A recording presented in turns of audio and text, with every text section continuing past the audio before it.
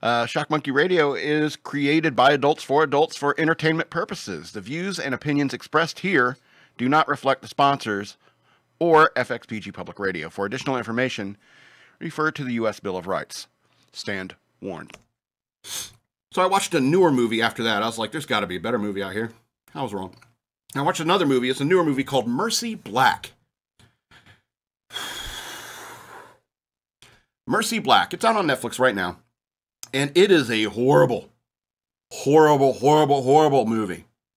If I were a woman, I would be so offended by this movie because every single female character is either crazy, a bitch, or stupid.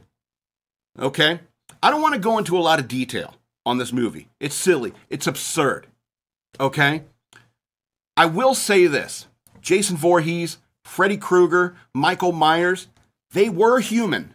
They became supernatural killers. Okay? Supernatural monsters are never, never made with hair ribbons, paper mache, and the twisted wishes of little girls. Mercy Black, 2 of 13 stars. Don't bother. Watch 90 minutes of Slender Man videos on YouTube instead. Same subject matter, far more entertaining.